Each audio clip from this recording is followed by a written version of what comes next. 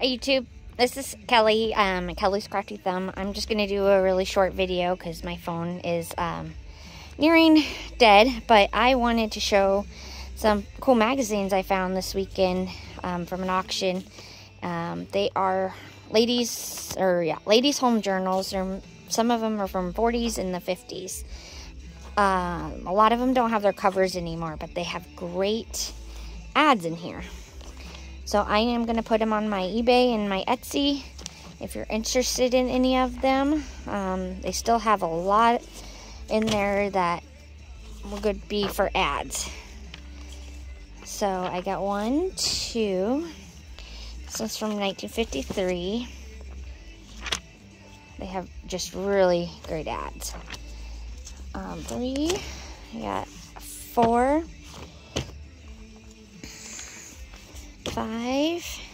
That one's so cute. Six. This one's probably in the best condition, um, but doesn't have its back cover. This one or this one, because it's still, like, but this one has a rip on it, but it's still got so much potential in it still. Yeah, lots of stuff in there. I lost count. Um, this one's probably, even though it has half of its cover, it's probably the worst because it's got this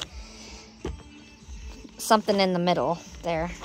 So I'll probably keep this and then cut some stuff out of it. But that little girl is really cool. All right, so I've got three left.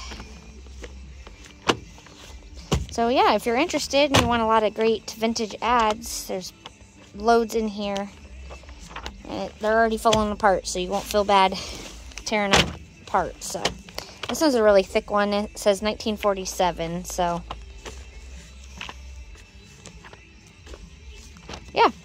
All right. I just wanted to share that. Thanks. Have a good day. Bye.